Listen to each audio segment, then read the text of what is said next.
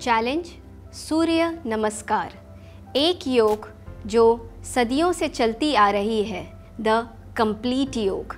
Let's see the process of Surya Namaskar in this special episode of Surya Namaskar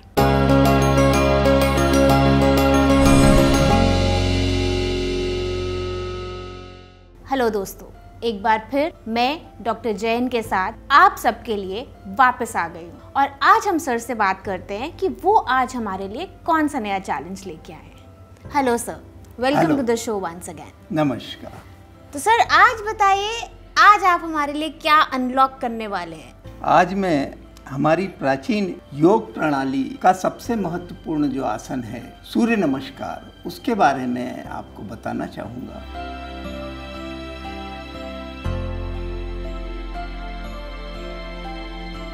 आज मैं हमारे उस प्रचंड शक्ति के स्रोत सूर्य देव को नमस्कार करते हुए आपको योग का ही आसन बताना चाहता हूँ। सूर्य देवता के इतने हमारे ऊपर उपकार हैं। सब कुछ हमारा उसी से बना है। सब कुछ जो हमें मिलता है, सूर्य से ही मिलता है। तो हम उसको बारंबार नमस्कार करते हैं। और नमस्कार भी हम योग मुद्रा में करते हैं। योग के बारह आसनों के माध्यम से करते हैं। और उस नमस्कार के द्वारा हम एक तरह से अपने उस परम शक्तिमान सूर्य देवता को अपना आभार व्यक्त करते हैं। सूर्य नमस्कार हमारे भारतीय योग का सबसे प्रमुख आसन है। कहा जाता है कि इसमें सभी आसनों का समावेश आ जाता है।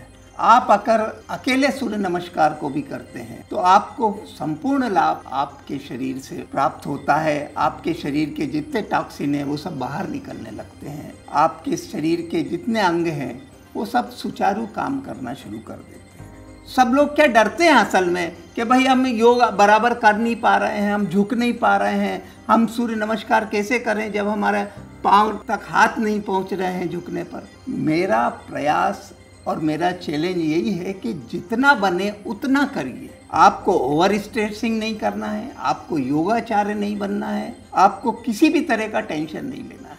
जितना बने, करिए। एक बार करते बने, एक बार करिए। एक बार भी नहीं बने, आधी बार करते बने, आधी बार करिए। बस छोड़िए मत। धीरे धीरे आपकी सभी क्रियाएँ सही होती चली जाएगी और आप एक निरोगी काया पा सकेंगे। तो ज़्यादा कुछ नहीं करना है आपको।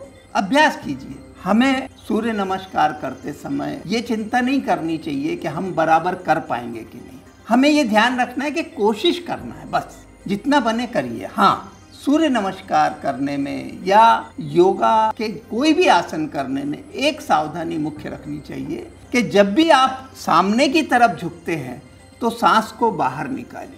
और जब भी आप पीछे की तरफ़ झुकते हैं तो सांस को अंदर लीजिए बस ये सावधानी रखते हुए आप करिए, जितना बने उतना करिए। और एक एक स्टेप आगे बढ़ते जाइए।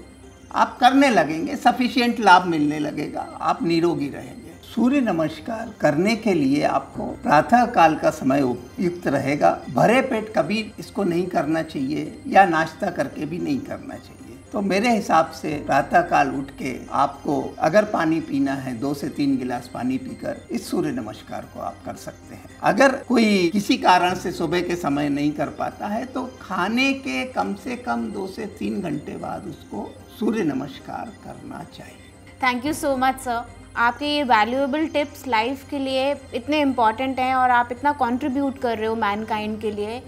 हम आपके बहुत आभारी हैं इस बात के। नमस्कार। नमस्कार।